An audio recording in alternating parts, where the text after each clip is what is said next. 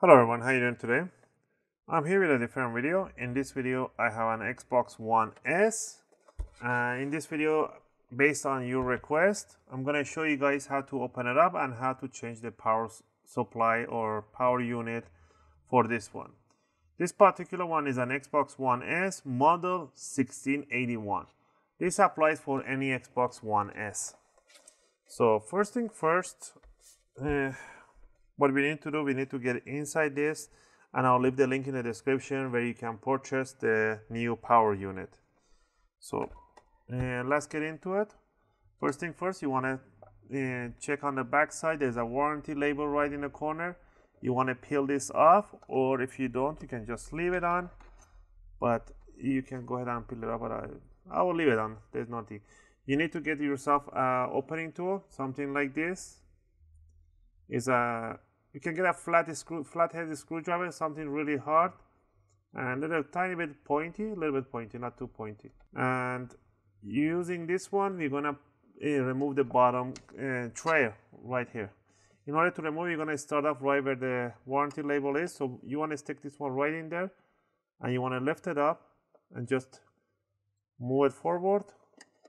Do this side a little bit. You're gonna hear a little bit of clicks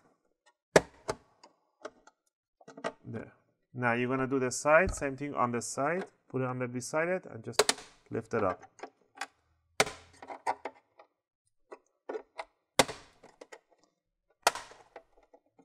There. Now we're gonna do the other side.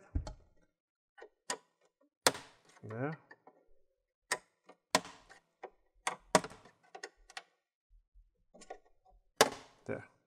Now we can put it face down. And we can go ahead and lift it up. If it doesn't come out too much do the same do a little bit more of the side front. Or you can go and start doing the front end. So just put this one in here. Let me put it in this position so you guys can see it. I'll put it there. There. There. There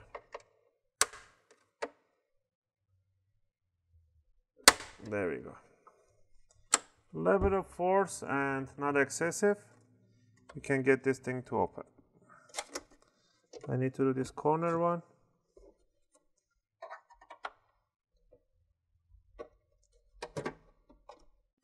There. And there we have. This is the bottom tray. So you can go ahead and clean up this one. And now at the bottom here, this is bottom cover, metal cover. Pretty much this is everything is inside here. What we need to do to in order to remove the top plastic here we need to remove the green screws. Those are the f screw that are identified with an f3 f2 f1 remove those. There should be about five of them. I'm going to use my iFixit tool set all right we're going to be using Torx number 10 and we're to remove all the green screws they're kind of hard, but you have to open it up. So there's one.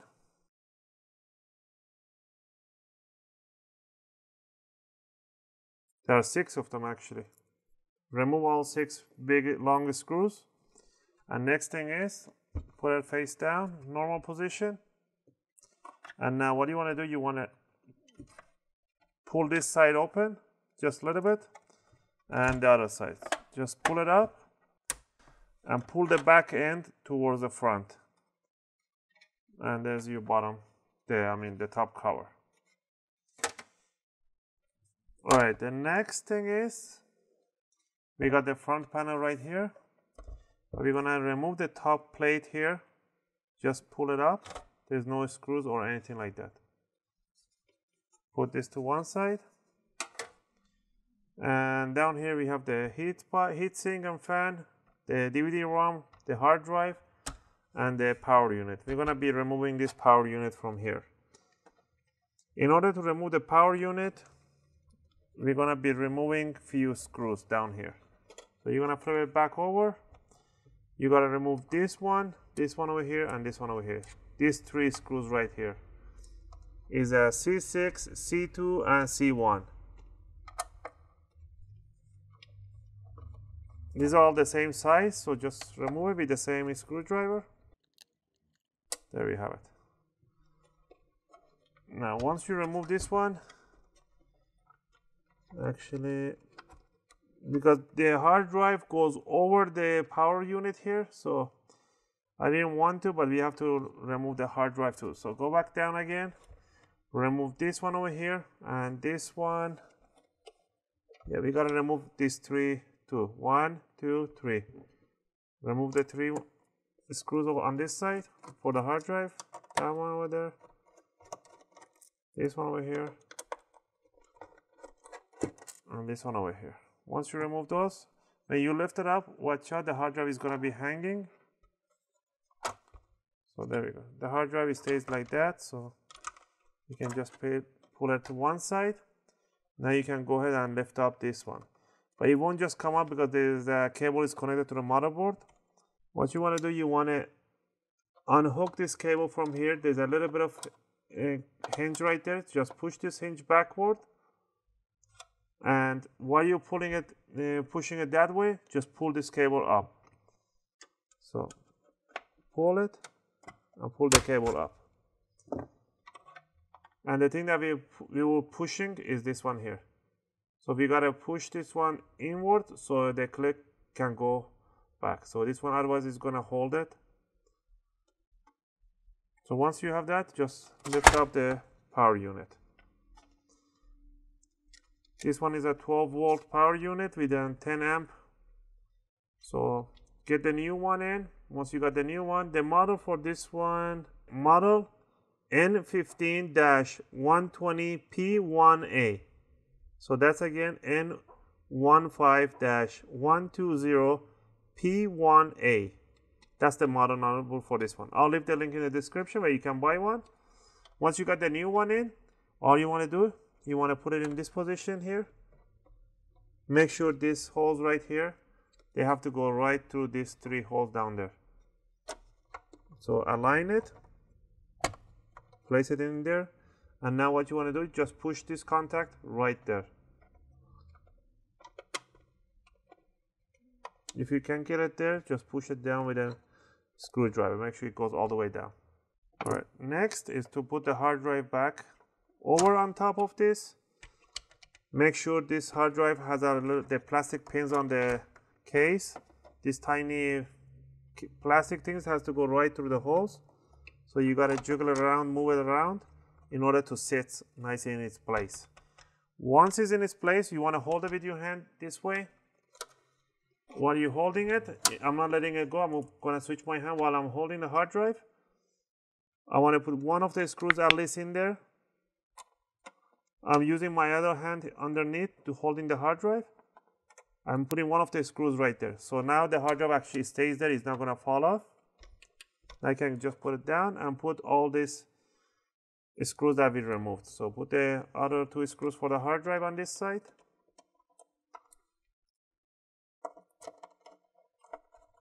And the three screws for the power unit. And the one over here. Once you got that in there, you can put it back again, face up. Grab the bottom, the I mean the top metal chassis, and you want to place it on top. Remember, when you put it on top, it's gonna squish this foamy thing right there. So you don't want to damage this foamy thing. So what do you want to do? Can do two things. Put this down. Put this side down first, and pull this foamy thing right there. Now you can let it go. And the rest just sits on top. Once you have it in this position make sure it's nice in place. Grab the top cover. Make sure you put the front end in there first. So grab the front end put it all the way down towards the table. Slide it inward and once you're in there go all the way back. Now what you want to do you see this part over here? This is offset so you want to lift up this part and put it over this side. So make sure it goes over nicely both side. Now it's a nice toggled in place. Put it face down. Grab the bottom screws. Place them in the this there's only one hole they can go is is set by F. There's an empty one here. It doesn't have any numbers or anything like that. It doesn't go in there so only goes where it says F1 F6 and now just tied up the screws.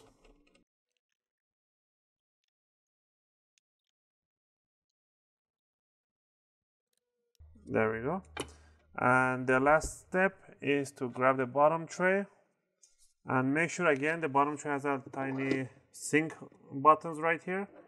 Make sure the sync button goes down first so put it in this position and then bring it towards. And you want to align it right on top. Make sure it's nice and aligned. You want to press it down in the corners. You're going to hear those clicks. Do all the way all around and there we have it. And it's all done. And that's how you change your power unit for your Xbox One S versions. I hope you guys like this video. If you guys liked it click that thumbs up button. And if you guys subscribe I really appreciate it. And if you have any requests you know where to leave them. And I'll see you guys in my next video. Thanks for watching